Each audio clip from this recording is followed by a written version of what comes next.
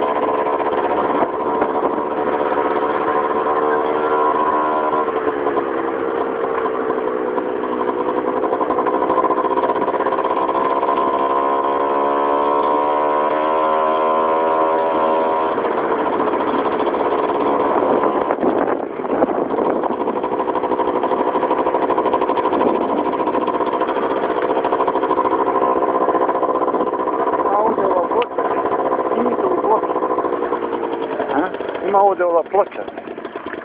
Aha. I povodu 30 godina uspješnog razvoja socijalističkog samoupravljanja. Radni ljudi tekstilnog kombinata Interplet Brško uz znak sjećanja na 15. februar 1950. godine dan izbora svog prvog radničkog savjeta podižu ovo spomen obilježje 15. februara 1980. godine.